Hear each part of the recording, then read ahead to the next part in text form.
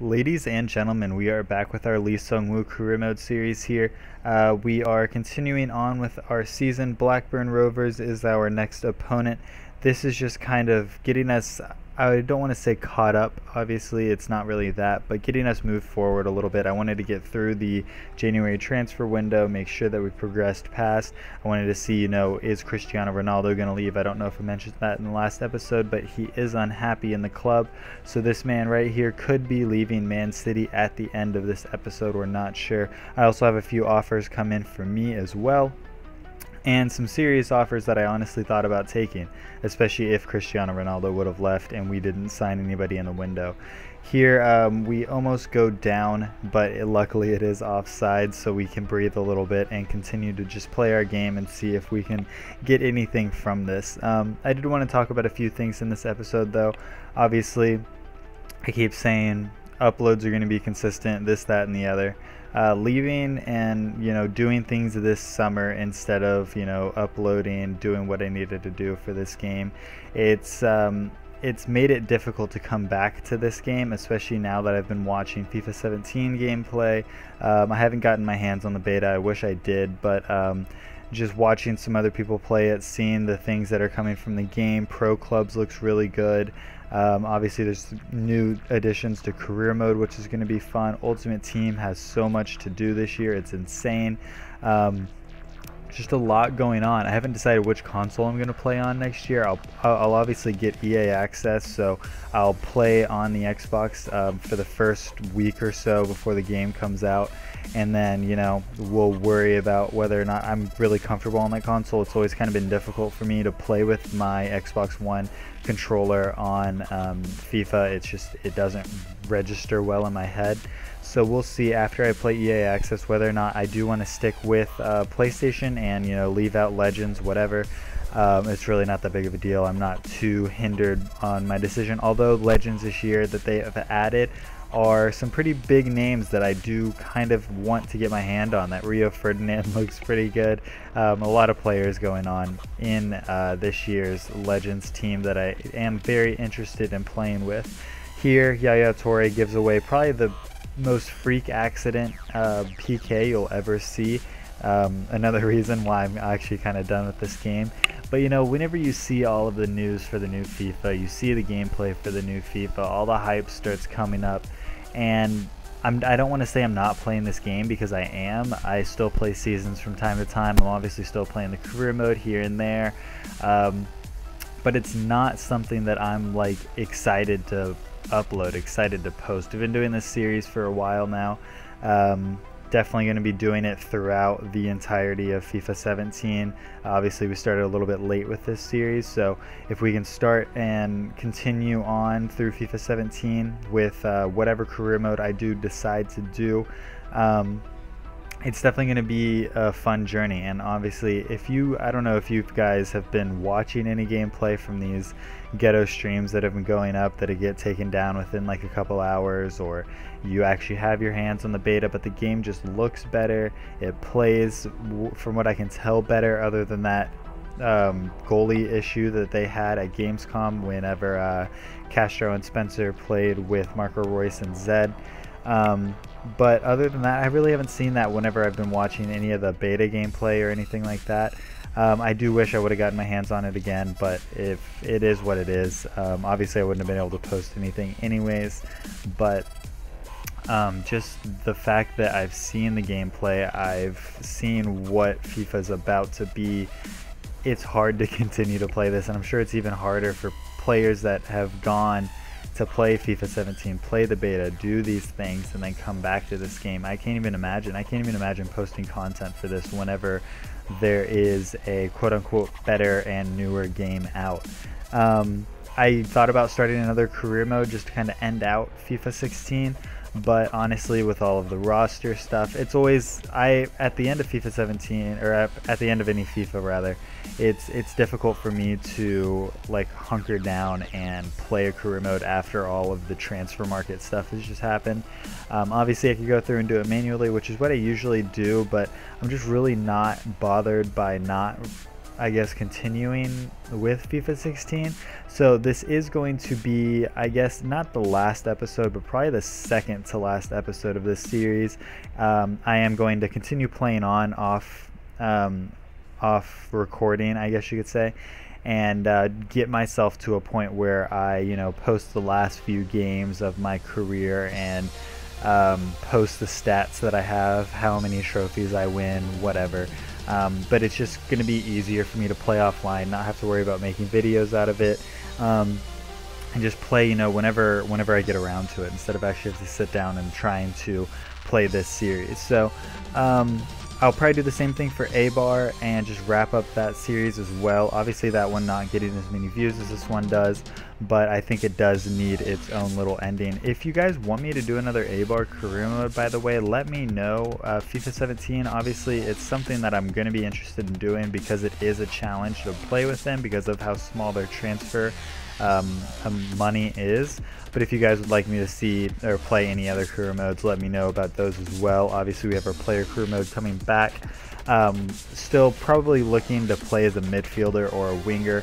More likely a midfielder. I want to be involved in a lot of the play, which obviously you can do as a winger as well, but I think I'm more comfortable playing uh, as a box-to-box -box midfielder than I am any other position. So uh, that's probably something that I'm going to be looking towards for the next game. Obviously, the journey, I'll be posting that as well, trying to maybe show you guys a different side. I may end up waiting like a, a few days to see what everybody's posting out of the journey and then kind of do something different that uh, you guys will enjoy. Obviously, you don't want to see the same Arsenal, Man U, Man City uh, career modes that are going to be everywhere.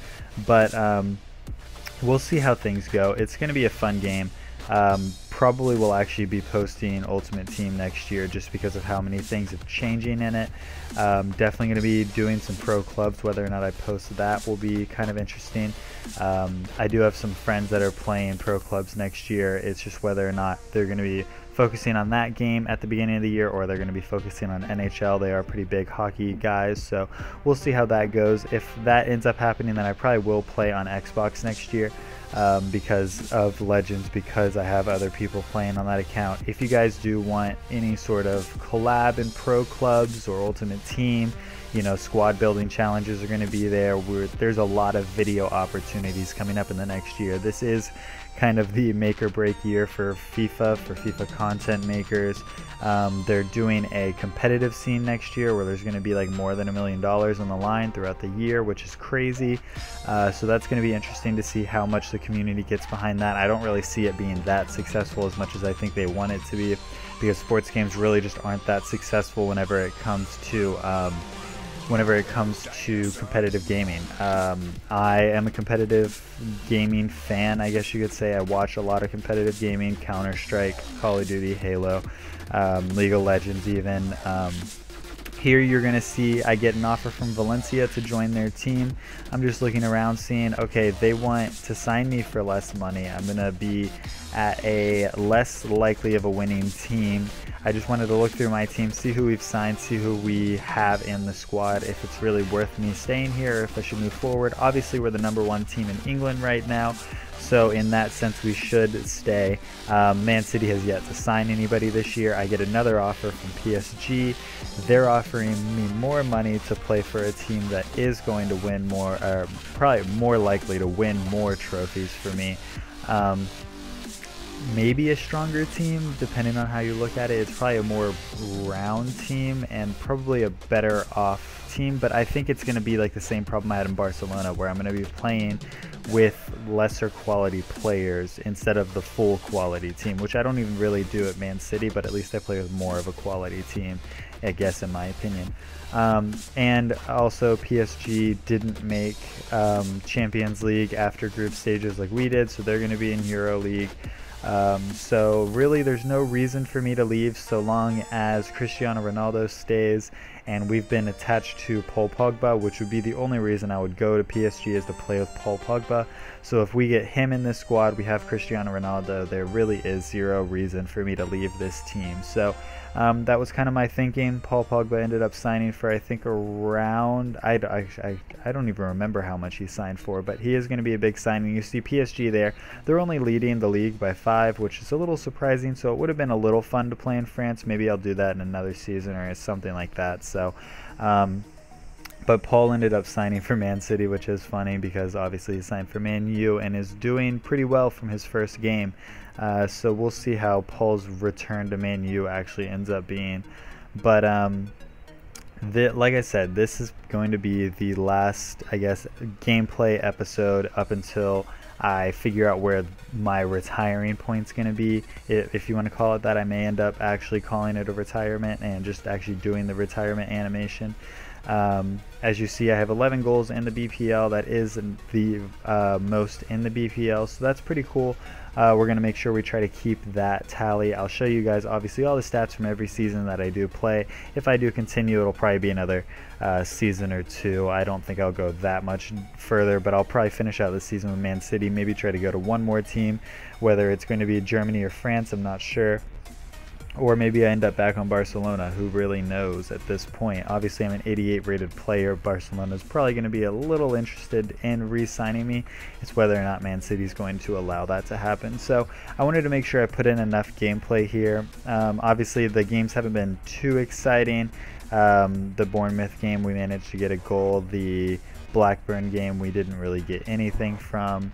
Um, so I just wanted to make sure we threw in enough gameplay here. Uh, we actually ended up going down 1-0 to Watford pretty early on into the game, but uh, I wasn't too worried about that. Our defense is a little shoddy at Man City, but in terms of our um, offensive capabilities, obviously we have Cristiano Ronaldo, myself, and Kevin De Bruyne up front, so it does give us a lot of opportunities to uh, really just play the way we want to play. So um, I guess just a re-hit on some topics. Make sure you let me know what career mode you want me to do. Obviously i have some in mind already but if it's a good idea i'll either replace an idea that i already have or you know add on to the idea. Maybe i bring back my five series a week thing that i was doing but it was a little chaotic and a lot of episodes coming out. But i really enjoyed just playing different career modes every day so maybe that is something that i bring back. Um, let me know what player you want me to play with. I've had a few suggestions come through um, in the past like month or so. So, you know, just keep giving me suggestions. Like I said, I'm kind of looking more to play as a midfielder, CM, CDM, CAM.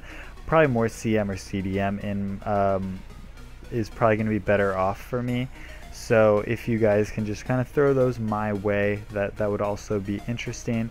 Um, let me know what you guys want to see in Ultimate Team next year. Let me know what you guys want to see in the EA Access if you guys don't have it um, and you want to see specific types of gameplay that you're not going to be seeing from other people. Let me know what you want to see. I'll do pro clubs, I'll do the journey, I'll do career mode. I'll probably just make a collection video of the 10 hours of FIFA 17 that you get from EA Access, make it into some sort of, not really a montage, but a collection of gameplay that shows you guys what's going on in the game um, I'll definitely do something like that. I was going to try to do something like that for FIFA 16.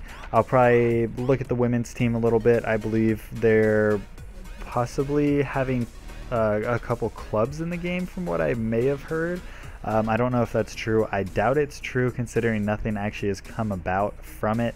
And they added so much from the journey this year that I highly doubt that they're going to add any women's clubs. But if that's a thing, then I'll go ahead and throw the, that in there as well. So FIFA 17 is the future for this channel. Um, but until then it's really going to be kind of an awkward gap in content until I figure out when I want to go ahead and stop this Lee Seung-woo career mode and work our way into FIFA 17. So um, that Everton game, it's pretty good. Obviously, 2-0 lead. I think we could have definitely done better in the first half, but uh, just going into the second half, I knew that we still have a lot, had a lot of capability in continuing on and winning this game by even more of a margin, which does end up happening here. We grabbed the third goal of the game in the 80th minute, giving us a 3-0 lead and closing out this episode pretty well. I am going to have one more simulation for I think the FA Cup after this that we ended up sitting out in because we played the majority of this game obviously.